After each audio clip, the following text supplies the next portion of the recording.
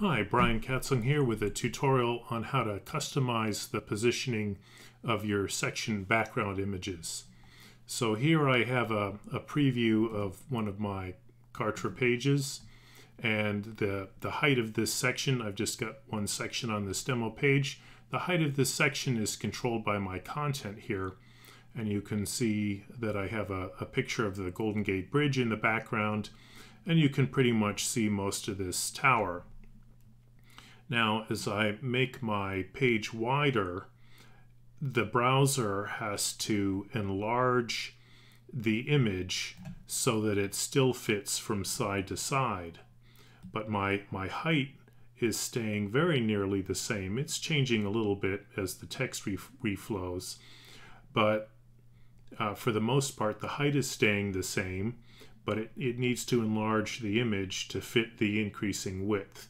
So as it does that, more and more is getting chopped off the top and off the bottom. It's not too terrible here if, it, with the, the tower being chopped off because we still have the main kind of uh, center of the image in the center of the space.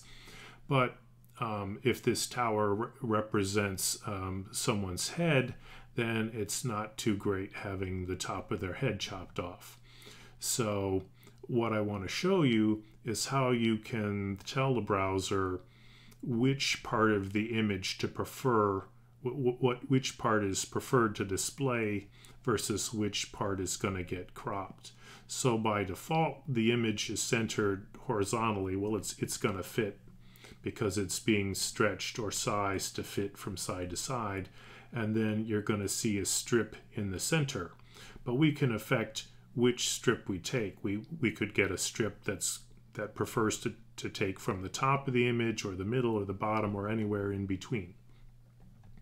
So we need to do this, uh, this process finding our settings from the preview because it won't be reflected in the in the page builder. So from your preview, right click um, on the background and choose inspect and this will bring up the developer tools inspector. So we want to go to the level that says div class equals content. So this, this HTML div tag represents your, your section in the page builder. So the, the first thing we're going to need is in order to apply our custom CSS to this section, we need the section ID. And that's this little bit here where it says ID equals quote and then some stuff and another quote. So we need to make note of the stuff between the quotes so I'm just going to double click on that text. It's going to highlight it. I'm going to copy that, paste it in, into a little notepad that I've got going here for later reference. And then we need to modify this div that says class equals background changer. And that's that's where, um, I don't know if you can see this URL, but it's got the link to the, the picture of the Golden Gate Bridge. So we're going to edit this style. Um, and I'm going to do that by right clicking on anywhere on this div and choosing edit as HTML. When I do that, it's going to give me this little edit box that's got the code for that. And I'm going to copy this text here, just, just the setting, not all of the CSS, but I'm going to copy where it says background dash position colon space 50%, space 50%, semicolon. And I'm going to copy that in to the beginning of this style. And it says style equals a quote and then a bunch of other stuff. Between the quote and whatever comes after, I'm just going to paste my background position.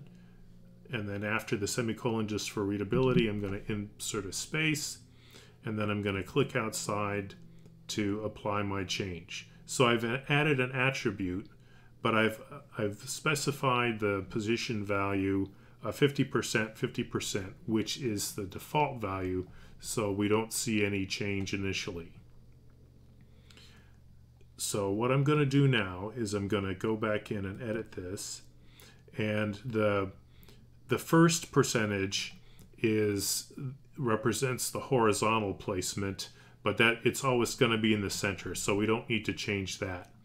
The second percentage controls the vertical position, and it basically says that whatever this percentage is from the top towards the bottom, so 0% is the top of the image and 100% is the bottom of the image, should be placed at that percentage of the space. So 0% represents the top of the space and 100% represents the bottom of the space.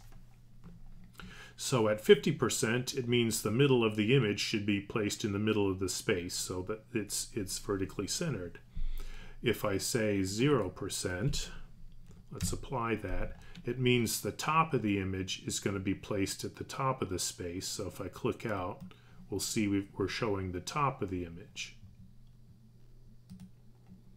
Now if I edit this again, and change this to 100%, it means the bottom of the image is going to be in the bottom of the space. So if I click out to apply the change, now we're seeing the bottom of the image and the top is cropped. So you can pick any value you want to get the fit that you like. So I want to be able to see the top of the tower even when this window um, is at the widest. So that say the top of the tower represents the top of someone's head and I don't want to chop off the top of their head. So I've played around with this, this image before and so that I know that um, to get the tower to fit even in the widest window, I want about 15% here when I apply this. So there's the top of the tower. So if I resize this window, as it gets smaller, I get more and more of the image. But because of my preference, as I change this window to a, a full width window, it, I told it that I want 15% down to be 15% of the space, and that's enough to keep the top of the tower or the top of someone's head or whatever in this space. And those exact, those values um, will depend on your image and your space. So now what I need to do is um, I've, I've only just applied that um, to the page that's in this particular browser tab. If I refresh this, my changes would be gone. So in order to preserve those, I need to go back and apply these changes into my Kartra page. So let's take that information that we've got so the second one isn't going to be 50%, it's going to be 15%. And I'm going to need to take this section ID and I need to say pound sign followed by the section ID. That's how you tell um, the style sheet to apply only to that section. And within that section, I specifically need to apply it to my background changer div. Um, and it's going to be a div with a with a class of background changer. So that's what this this period means. So in the section with ID, whatever the ID was, in the div with class background changer, we want the background position to be the middle horizontally, and in, in my particular demonstration case, 15% vertically. So I'm going to take that text, copy that, go into, uh, sorry, not the settings, the styles. And then in the custom styles section, I'm going to paste that into my custom style section, go down to apply. And then I'm going to uh, close my preview and open a new preview. And if I did everything right, we should see the top of the tower. Boom, there's the top of the tower, even at the full width window. I hope that helps.